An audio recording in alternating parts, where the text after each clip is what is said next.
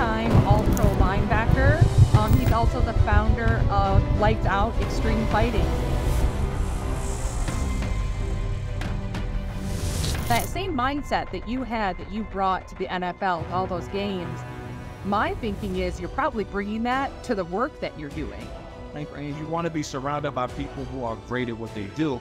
There's no different than being on a football field. What's your take on the state of the NFL these days? I think, um, you know.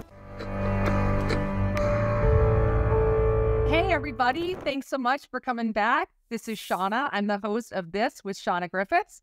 And today we have an extra special episode. It's a business athlete episode, and it's featuring Shawne Merriman, the three time All Pro linebacker. Um, he's also the founder of um, Lights Out Xtreme Fighting. So, Shawne, thanks so much for coming on. Thanks, Shauna. Thanks for having me. Yeah, it's so great to see what you're doing. And and folks, I always give you an idea of how I know my um, guests. And so this one came from my very good friend Lane Werner, who is working with me these days. So she found she and Shawne connected on LinkedIn one day, and all of a sudden she was like, Shawne, I've got your next guest." So I was really, really excited, Shawne. And then I got to hear and kind of look into all the stuff you're doing with your uh, property. And I know you have the big fight coming up on Saturday, August 26th. Um, so let's start there and give the audience some context about that um, event and what you're doing with the platform. Yeah, I, I love LinkedIn, right? it's, it's, actually exactly does what it does. Linked it links everybody. Um, we, we got a we got a big fight coming up in um in San Diego, August 26th, which is what 10, 10 a couple some what two almost two wait, a little under two weeks. Um, it'll be at uh, Casino Pauma and uh, it'll be live on Fubo, Fubo TV, Fubo Sports. All of our events are live. We got a great partnership going with Fubo. I actually just moved into the top five, the top 10 most watched on Fubo Sports. Um, behind some of the international soccer and some of these other things. So it's been cool for us. But uh, yeah, I've, I've been around this this sport for seven, almost 17 years now. And I was doing it during the off seasons and my when I was playing football in the NFL. Uh, I just tried it out and I just loved it so much. I picked up, I had a passion for it. So I started to do it every single off season, uh, which led me to launch Lights Out Xtreme Fighting. That's awesome. And so, because you launched it like in 2019, is that right? Yeah.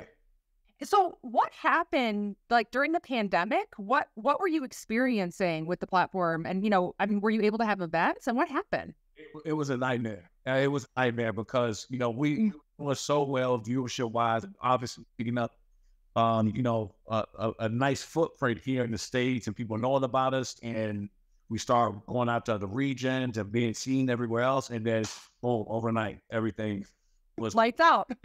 Stop. No, seriously. And, you know, for us, it was, it, it was difficult because, you know, when you're a startup promotion, you're, you're gaining that kind of notoriety that fast and something like that happened. It's like tragic. It's like, oh my God, what do we, what do you do? You know, it's not like we're sitting around, we're funded, and we can, you know, kind of sit on our heels and wait to come back. It's like, hey, we got to get going now because um, the opportunity for us is now. Um, I think the silver lining in, in that came out was um, I had a better understanding of where media was going, right? Um, I think the UFC did a great job during that time period by, by still having fights. They were like the only one still having fights. Um, but what they did was they, they launched the Apex where they were having fights in the smaller facility, but it was shown on TV still. So that kind of let me know that, okay, well, it's nice to be at these big arenas, but your streaming and TV partner is more important, right? Like it's important. So I, I, I, the landscape became very simple to me. Is just give more, give more content to the streaming partner, get more opportunity to the streaming partner, and then you can of work organically grow when, when you look at it. Yeah, absolutely. It was so interesting, like that time had like the NBA went into the bubble, the WNBA was in the bubble. So I think there was a lot of that with sports properties doing that smaller experience just to pull it off. And to your point, it gave you an opportunity to see what other people were doing. So um with so you are starting this kind of had to do a restart, right? And so I worked in the start of a league and a team, and it is not easy. So, I mean, it takes that. that is what I kind of talk about as the business athlete, that mind that that same mindset that you had that you brought to the NFL, to all those games. My thinking is you're probably bringing that to the work that you're doing. it's that that's the way I that's the way I survive, right? I think that um, especially when I talk to these former athletes, transitioning to anything else is difficult, right? Because you are starting from in a way ground up where uh, you came from being here, and now you have to be okay with that that rolling up your sleeves and that grind. Um, I think for me, being around the sport and also being in TV, because I was at Fox Sports, NFL Network, some ESPN, understanding how TV works, right? Uh, production side of things, understanding that part of it, it helped me grow a lot faster because I was well equipped to make that transition faster, right? I knew all the best production guys, all the best operation guys, all you know. So I was like, okay, I've got these great ideas, but who can help me facilitate these ideas? So I knew exactly where to pull from, and that's I would I would really say that the growth um, really started there because I understood how to get how to get there. I wasn't trying to figure it out. I was like, man, I've been doing TV for a long time. I know MMA. I know a ton of fighters. I've been training this sport a long time, and it was a it was a perfect match, and that's why you know we are the we are with football. Yeah, absolutely. So I told you in the beginning we were talking that the audience that listens to this is highly skewed toward the business audience. A lot of people in the marketing, branding, sports side of things. So I'm curious, how should those type of people think about your platform? um, and what it offers, be it the media side, be it to brand partners. How is that different? You know, um, when I first started out, yeah, we I haven't raised any capital. I haven't done anything. I kind of it's it's been me. I'm looking at list of deep pockets over here, right? um, and so when I was first first talking about the league, just the opportunity to have people come in, I noticed my my pitch and approach was wrong because I was leaning more on the fight business and the you know that side of it. But what we slowly found out that the opportunity and the upside of this thing is in the content and the mm. and the sponsorship. But other verticals involving tech now, we talked a little bit before I came on about you know these new gloves and different things, and we're going to be implementing more tech into what we're doing. The upside is there. The fight, the fights are going to be that. The fight's going to be great. The production's going to be great what I started to learn what else can we do to bring the fans and people more closer to what we're doing? What else can I do to get the attention of the eyeballs of people who may not be able to make it to our fight and make it making making it feel like they're closer to the action? So that's what we started to do. I said, okay, well, this uh, you know, a lot of AI now is kind of coming around, fan engagement tech, um, a lot of uh, data that is that could just you across in this in this business because you have live action. You got three hours of live content. How many people watch it? Where are they watching from? How many times they turn the channel? So all this stuff that we're getting, I'm like, okay, I need all that. I need everything, right? Uh, and so that is allowing us to say, okay, this is what people like, this is what they don't like. Let's do more of what people like. And so one of the things we wanted to do um, for us is first of all be creative, and you know, me coming from the NFL and understanding that things like fantasy football is what grew the sport. And fantasy football in NFL was huge because it allowed the fans to be closer to the teams, closer to the players. So I understood that part well. I was like, okay, I know growth happens when the fans are more involved in what you're doing. So now um, with the gloves and some of the things that, that's coming around, we want to be able to uh, give live data to the fans and, and people watching. Hey, how how fast that was that punch? You know, how powerful was it? The impact of it. Where did it land?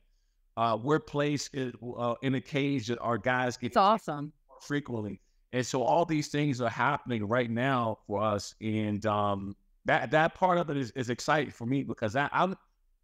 Don't get me wrong. I, I love the sport. I love these guys fighting. I get it. But when you could tell when the guy gets hit and how often he's getting hit, not with the the, the velocity of that punch, now we're talking about a different ball game, and it, it, I think it's going to pique the interest of a lot of people. Yeah, absolutely. I mean, even for that media partnership, it helps that media partnership come to life. I would imagine so much more. As you're saying it, I'm thinking about like on-screen graphics or how that can translate into your digital that you're, you know, that you're also using. Yeah, no, no question about it. For us, you know, that's a multi-purpose data usage.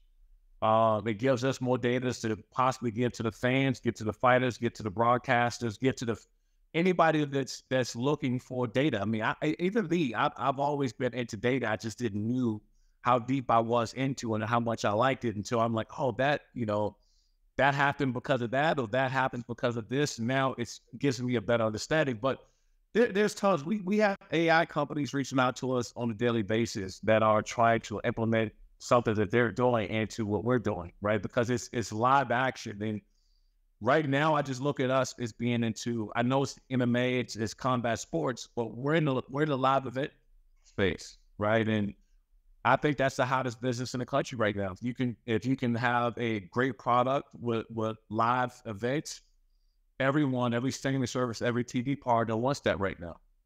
Yeah, absolutely. So let's go back to a second for a second. The um, fight you have coming up um, in San Diego. So I heard some stuff about it that you're really having um, some local fighters. So talk to us about your philosophy around that localization.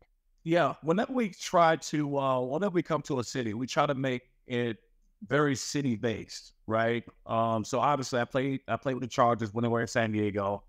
Um, I, we did a huge partnership with a lot of the uh, soldiers military on Camp Pendleton. So a lot of the soldiers will be there. Um, a lot of vets, wounded vets. Um, you know, a lot of the the organizations I work with in San Diego, and then also I think like between seven and eighty percent of the card is from San Diego. Um, and we'll try to build up the other card with amateurs and, and most of the pros from the area. And obviously, because we're on TV, we have to have a couple of names in there that people know in the MMA space and, and they kind of yeah. watch. But for the most part, when we come there, we want to make it important for the city to be involved and the locals and the community, because that's that's where you really build your your ground at, right? By oh. when you say, you know, you're not coming as just throw a fight, you're getting everybody in the area involved, and that's when you really uh, have strong growth. Yeah, absolutely. Are there local brands or regional brands that have got involved or that are that are interested that you're getting some of that interest level from? Yeah, we'll we'll try to have um, on-site activations with with the local stuff. So either they aren't a full-on spot a full-on sponsor, we'll try to have them come and set up shop, a desk, a booth, or something like that. I mean, you have over a thousand people that's, you know, it's it's pretty nice to have your product or your brand or your business company, whatever it is, exposed to a thousand plus people. Yeah. I thought that that was cool to try to implement that a little bit. Yeah. And I touch on that because, you know, we've talked about obviously like your background in the NFL, my background in the NBA. And a lot of times, like there are brands that are getting priced out, or like UFC, maybe brands get priced out at that level. But I think that's one of the great things as I've been looking into your platform is it really does have community roots and it has it seems to have like really engaged fan base and you know there are plenty of brands i think that are out there that want that type of a touch point and again they might right now you know, they'll get priced out of some of the other things. And, you know, at some point you'll be pricing people out. but now, you know, it's a different story. I think that um even when we get to a point, we will get to a point where things are, are much bigger, much more grand. But there's ways to implement the, the locals, and whether that's graphic stuff during a fight, um, you know, if you have over a thousand people, say, so might not make the mat space, right? They might not have a logo on the mat space. They might have a set up there with you know, with a thousand or two thousand people in attendance that they have instant asset access to. Yeah. So there, there's ways to make it happen. They just might not get the the grand stage or some of the some of the big ones. Obviously, we got bills to pay, but yeah. uh, I think the I think the biggest thing is just to having, no matter who we are, having those locals involved. Yeah, yeah, I think so. And also, but you do have that local side, but you also have this national side with, you know, with your media. So again, like you're getting a lot for a property like this that I just wanted to kind of sort of put an exclamation point on for the audience. Yeah, no, it's a, it's a true. Uh, our title sponsor is a company I'm with, a insurance company called Family First Life. Um, they, yeah, so I'm, I'm, I'm with them. I actually have an agency myself, a life insurance agency with them. Uh, Ghost, who just came on with Ghost Energy, is my my my favorite energy drink and a good friend of mine, I want the company. And I've been hounding them. I said, dude, we, we got to have you involved somehow, some way. And we did. Uh, and then Maverick Gaming uh, was a, you know, they have a bunch, a few casinos and card games, mm-hmm. uh, online, you know, online betting action and stuff coming. So it's it's been fun. It's been cool to have um, now not only just the locals involved because we'll have stuff stand set up and yeah nationally known brands that you know kind Yeah, of absolutely. giving us the confidence that hey, we we see the numbers, we see what you guys do, we see the product you're putting out. So how can we be involved? So that meant a lot for us. Yeah, absolutely. And you did. I heard you talking one um in something I was listening to about the betting aspect. And so when you were first thinking of creating um lights out, were you thinking of the betting angle or is that something that just like evolved over time as it became legal in spaces? I, I think it just evolved. Um, Mm. because, you know, five, six years ago, we had no clue Right. how in depth the, the betting were, and the gaming was going to be involved into live sports. Um, yeah, I, I remember playing it in the NFL where if you even did a signing with DraftKings or FanDuel or anybody, it was like off limits. You couldn't couldn't even do it. And Yeah. Now it's like it's everywhere. You can't even turn on a, a, a, any kind of live sports without one of those big ones popping up. Um, and so the, the landscape of, of gaming has just changed tremendously. So to, to be able to implement that now, we won't be taking any action on it. We won't be doing anything. But when you have it available, it just means more eyeballs. Okay, so it's funny when you were talking about that element of, you know, again, like five or six years ago, it made me think about from playing, from your playing days to the business side of things. Are, what are some of the things that really, I don't know, maybe like took you by surprise or you were like, whoa, I wasn't exactly expecting this? I'm just so curious about it. You know, um, there was some something you said when we first started out. Is that mindset you had uh, of like that approach, that preparation, watching film, working out, training, that just wanted to compete all the time.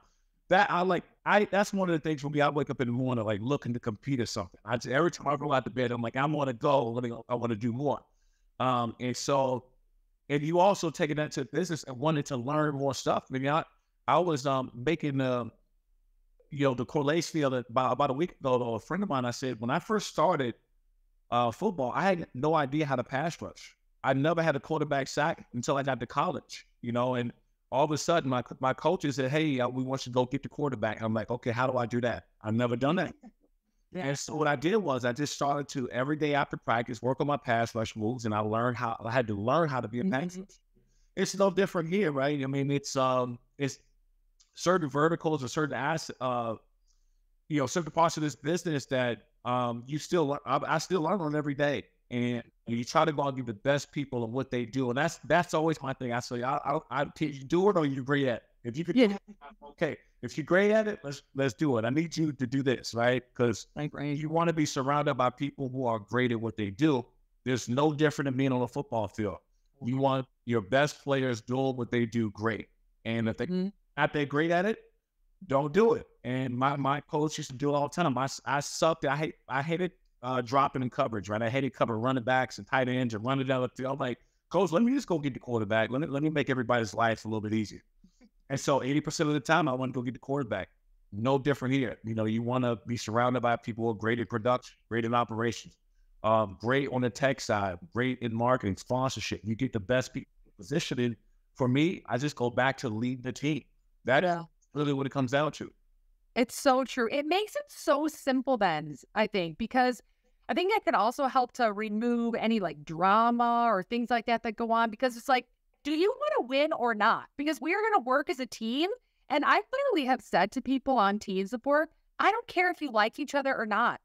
All I care about is if you can find a way to win. Now, you have to be able to work together. I'm not saying to be horrible to one another, but it's, I think it can just boil it down to when you really think of it through the lens of optimal performance on the mm-hmm. field in business. It just, uh, it makes it so simple.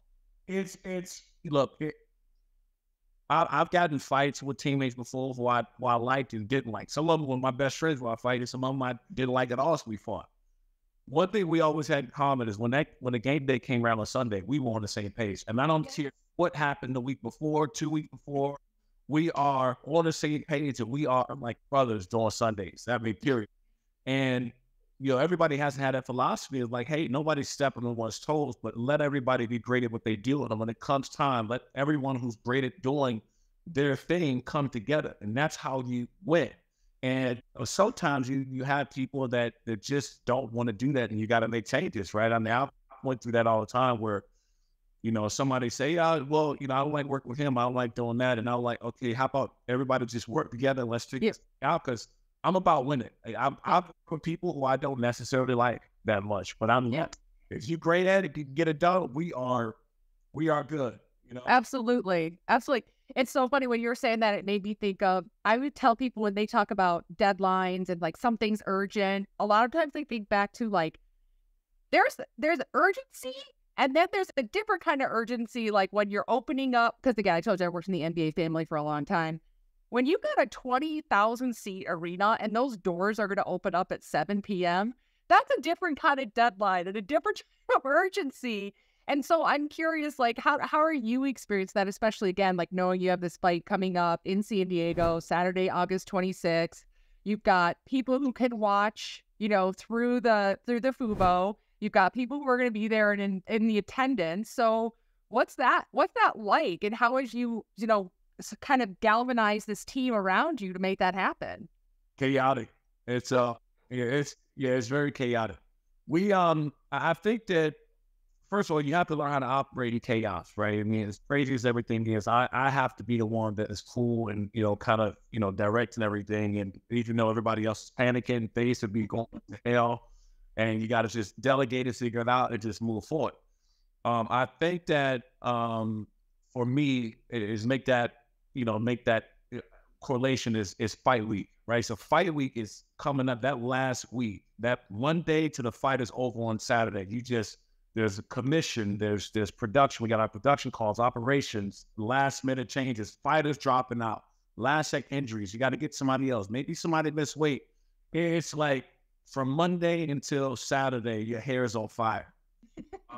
And for us, you know, we're, we're slowly implementing these other things. So now you start drawing in these tech opportunities and things, and we're trying to build these other verticals to make sure um, that everything is working and, and flowing smoothly. And that's in between um, the the media, right? Obviously, I'm, I'm nonstop promoting, and I try to be everywhere I can to talk about lights out Xtreme fighting. So now I'm doing all this. I may get a call that a fight just dropped. The commission has a problem with this, and I mean, this like crazy. And then for me, I was like, oh, okay, cool. This is this is just all this is this is normal Tuesday, all right? Yeah. Everybody else like going crazy. I'm like, this just is normal Tuesday. It's not that big of a deal. Yeah. Uh, but it's once you once you learn how to operate that way, things slow down uh, for you, and you don't panic as much. You know, it's a part of a part of the process. You got to enjoy the process. Yeah. Um, and once you enjoy the process, everything else is easy. Yeah. It's really interesting though, like that same kind of mindset that you would bring as a leader on the field when you're a leader in business. Anytime, I think that leadership element of slow down before you speed up. If you're remaining calm as you're talking about, like that has such a ripple effect on the people around you, your partners. I swear the fans can even feel that kind of thing. Oh yeah, so I, uh, you know, funny story. I had uh, uh Jed and my Chargers group. Uh, Jed, he's she's uh, like the head of the Chargers fan club. You know, really good friend of mine. Um, and they know me well, right? And so they came to the fight, and they just see me like my face is always. I'm just focused and locked in. And they're not used to seeing me like that. I said, during just during this time period, you know, you're worried about the TV trucks in the back. You know, our fighters coming out on time. Is there anything last second that's happening? Is there any connection that somebody's dropping coverage? Or it's just all kind of things that you're wor- worried about. Obviously, I'm there entertaining new partners, new sponsors is coming on, and so it's a lot. But I'm just so locked in because those three, four hours of that day, you're hoping that everything is is clicking. Yeah. Yeah, absolutely. I know we've had a couple of snafus tech wise and everything today, and you've been calm and cool through it all. So, thank you so much. Um, but you talked about earlier, like it's not just it's not not to discredit, but it's not just a sport and a fight. It's also you actually think through the lens of a show, like it's a production, and so. And I've seen so like sport has shifted so much that way. I'm, I was working in the NBA when all of a sudden it's like I say that you go to a game and a, a circus breaks out on the court. So, but again, for our audience, talk a bit about that. Like, how do you look at it as a show coming to life, and and what are you hoping to do with that? Well, for one, you know, we're in the entertainment business, right? Even when I play football, we're still in Yeah. entertainment business of people paying money to come watch us play. And people just watching on whatever whatever TV part or whatever service that we're on. Um, and so you're entertaining the people because without the fans and the people there, you, you, don't grow. There's nothing to watch, right? There's no tickets to sell. There's no beer to sell. There's no food to sell. Like the fans are number one always. And then so we look at that. Oh, is the production quality good for the people watching it, right? Is that are people enjoying that?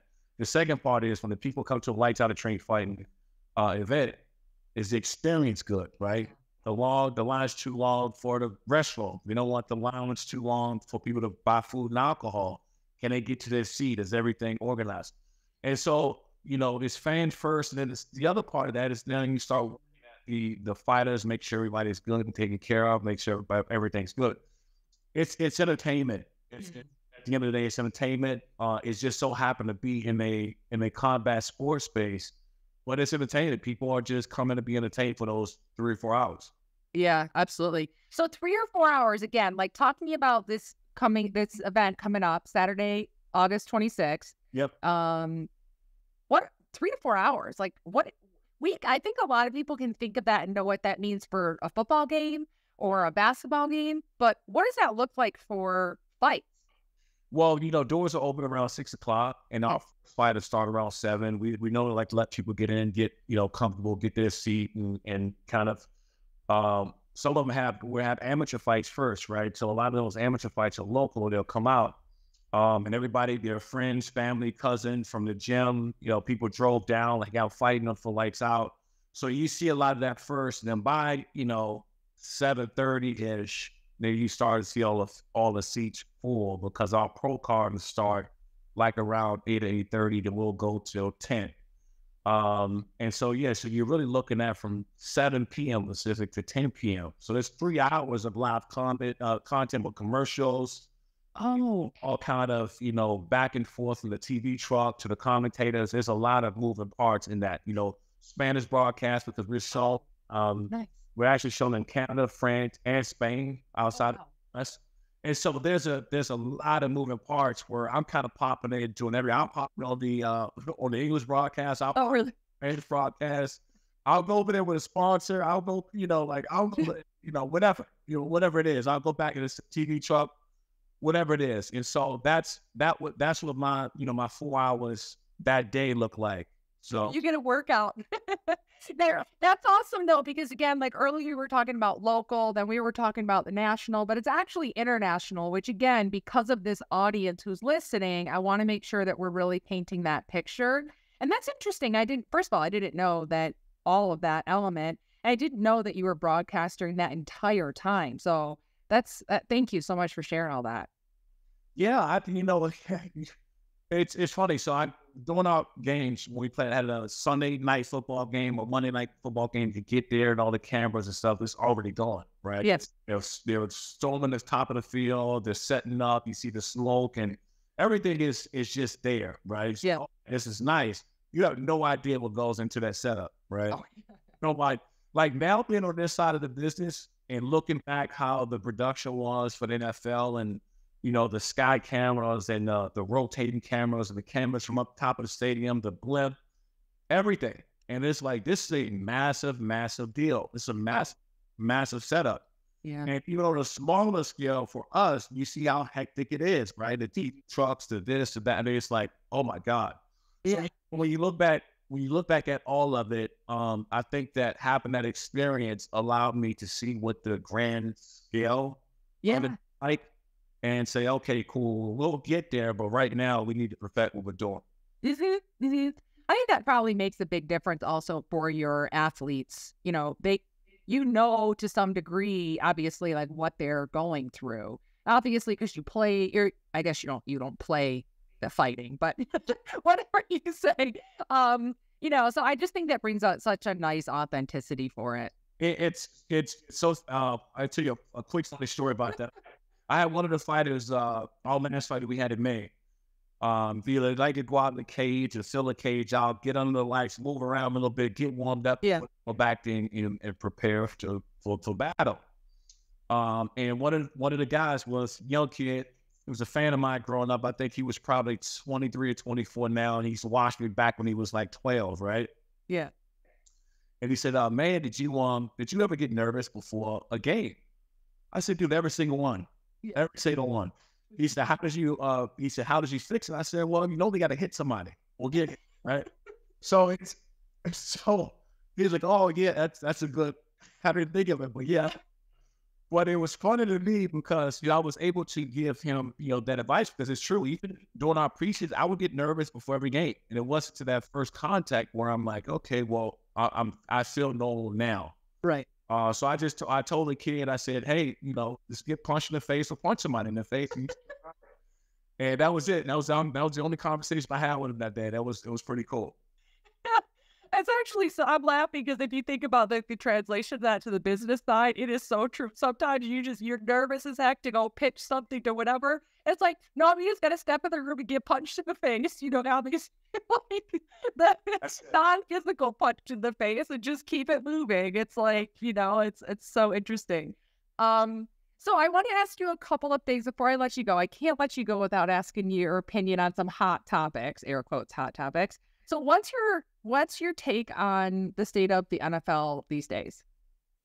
I think um, you know, when you when you're talking about the physicality of, of the game, like back when I played, it, it was the times are different, right? And you, you can get away with a lot more, a lot, a lot less penalties, and you know, it's different time period. And so I never wanted to be like the old football player to say, you know, back in the day we had the leather helmets and no teeth. We, you know, they now like I, I don't like that part of it.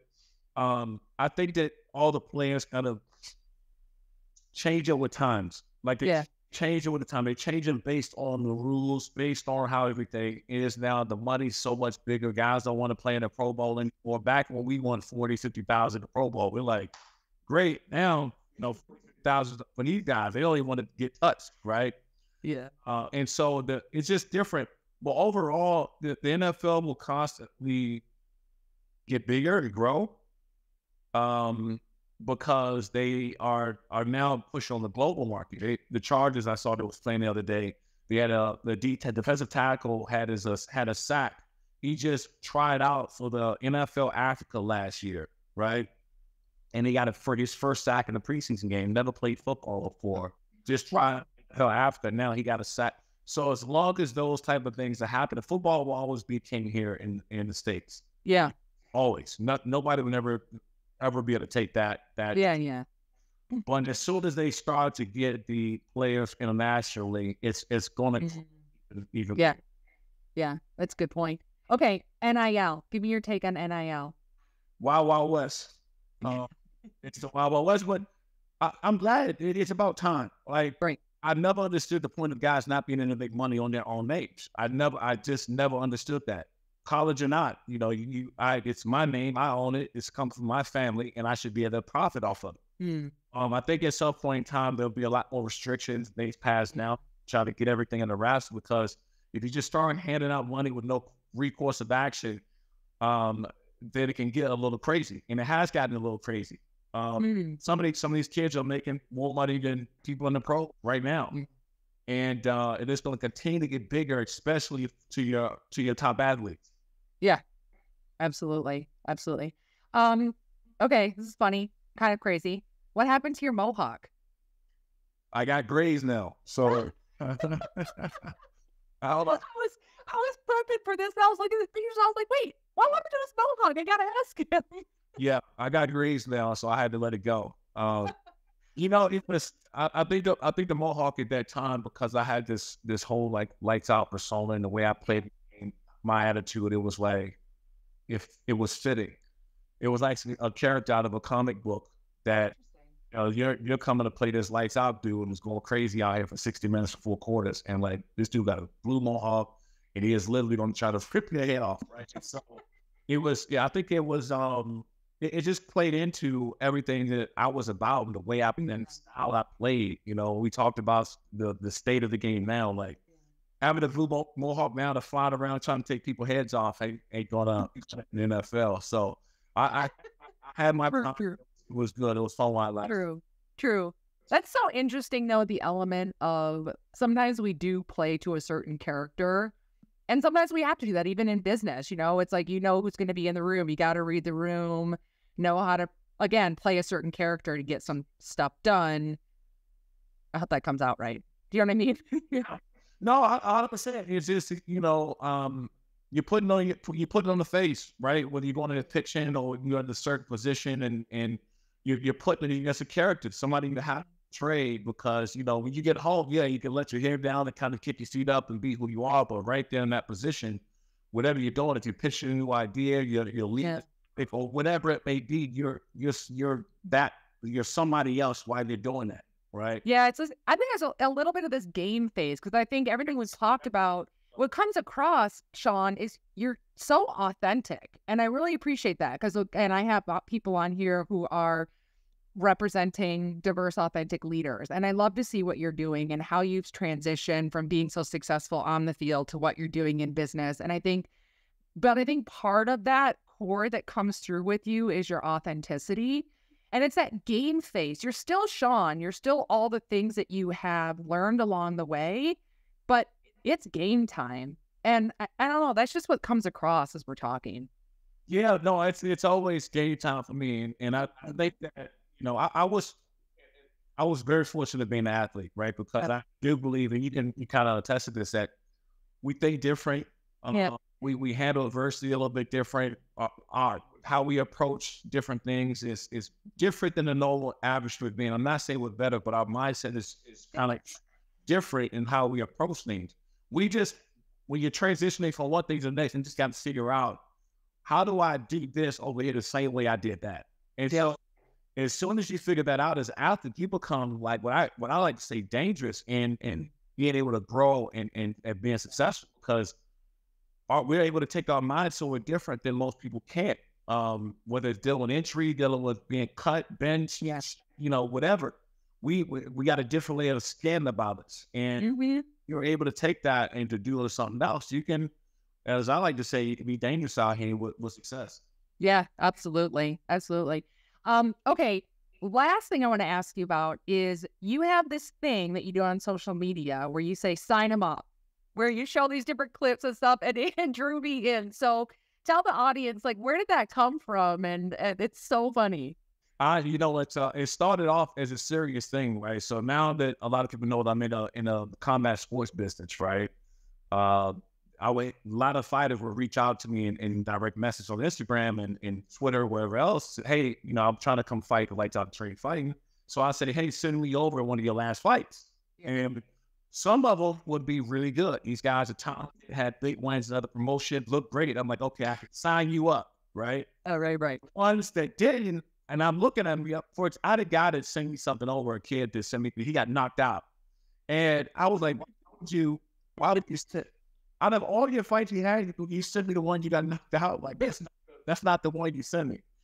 So I had this thing that became it was started out serious. It became funny. Like, oh, this guy, yep, I can't sign him up. So I started to post these fight videos of of what uh, any fight that happened. Now people ask me all the time, how do I find those videos? I'm like, people send it to me. Anytime a fight that happens on social media, anytime I get tagged every single thing. Oh my god, that's somebody. I saw some. I saw one that looked like a bunch of like kids or something, like high school age, like helping each other. You're like sign or don't sign about. But anyway, I think I thought it was great. It was it's really funny. yeah. So all right. So I know you have so much to get doing. Um, you know, as you're going into that big fight. So any last things you want to make sure again knowing who our audience is that you want to make sure that they take away from um this episode aside from watching on saturday yeah. august 26th on fubo I think the biggest thing is, you know, we're, we're definitely always looking for partners in the tech space, sponsorship, um, experience. I mean, you can't you can't have enough experience on on the team, and so you know, we we we are we become an incubator for um, a lot of AI and tech and, and different avenues out of different verticals. Um, distribution, always looking for more distribution, more eyeballs. So you know, we're, we're you know we're open.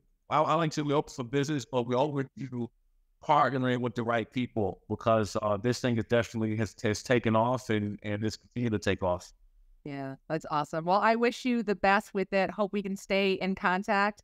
Thanks everybody for listening today, and um, we'll get put all the links to the show, and you'll get to see everything coming up to the show on the 26th. So thanks so much, Shawne. Have a great day. You got it. Thanks. Thank you.